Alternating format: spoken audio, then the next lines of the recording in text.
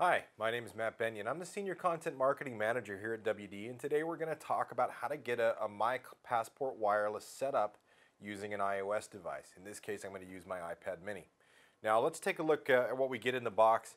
Uh, today we're going to be using my 2 terabyte My Passport Wireless, and the device itself has a button on the top for power as well as another button for Wi-Fi.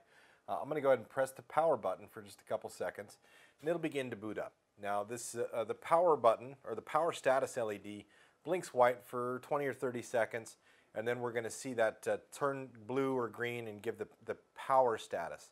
Now the, the LED below that's the wireless LED. Once that turns blue we know we can, we can connect. But while this is booting up I'm going to switch over to my iPad and I'm going to download the MyCloud app. So I'm already here in my app store. Just do a search for MyCloud. I've already got this installed. Uh, but once you, once you install the MyCloud application, we'll be able to get set up. So I'm actually going to switch now out of the App Store. I'm going to go connect to my Wi-Fi. And I can see my Passport Wireless is already booted up and it's broadcasting its wireless network.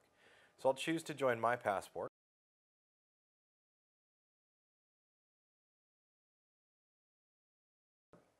Now once I leave here, I'm going to launch the MyCloud app. Now the MyCloud app is discovered that it's on the same wireless network as my, my Passport Wireless, and I can see my passport found in the network. So I'm going to go ahead and choose to, to connect to that. And since the device has never been set up, it's going to walk me through a couple easy steps. So I'll click Next in the top right. Um, I get a chance to change the Wi-Fi name of the device. Right now this, this is broadcasting a Wi-Fi name of my passport. I'm going to go ahead and leave that. Uh, but I am going to choose to show password and I'm going to type in a password now. Uh, I'm going to choose password as my secret password, which we don't suggest you use because obviously it's too obvious. Choose save. And now the drive is secure. So now what's going to happen is my Passport Wireless changed its wireless network settings. Uh, my iPad is not going to be connected because now suddenly this wireless network has security that it didn't have before. So now I'm going to leave this app. I'm going to go back to settings. I can see I've reconnected to my WD demo network. I'm going to wait for my Passport Wireless to come back on this list. Now that my Passport Wireless is rebroadcasting, we can see it's now a secure network. So once I try to connect, I'm going to have to type in my password. Click join. And now I've reconnected to the secure wireless network. So I'll go back to my app and I can continue to use the MyCloud app. And now I'm connected. So this is, uh, was all it really took to get connected here.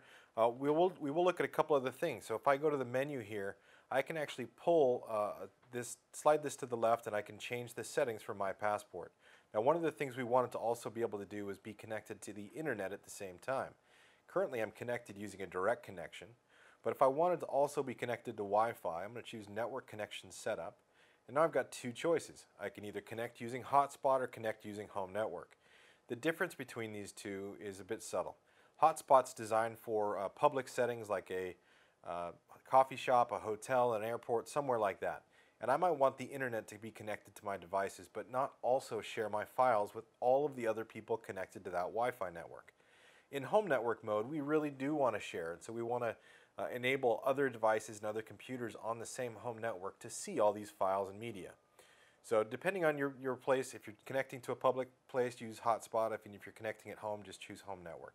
Today we're going to choose hotspot. Now I'm going to choose uh, the WD demo network to connect to. And this has a password, so I'm going to type that in.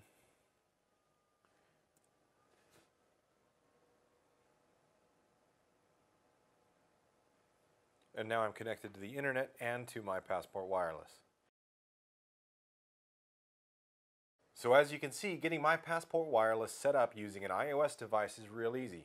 Download the application, power the thing up, connect to its Wi-Fi network, uh, answer a couple basic steps right from the, from the mobile application and you're up and running. My name is Matt Bennion. Thanks for joining me.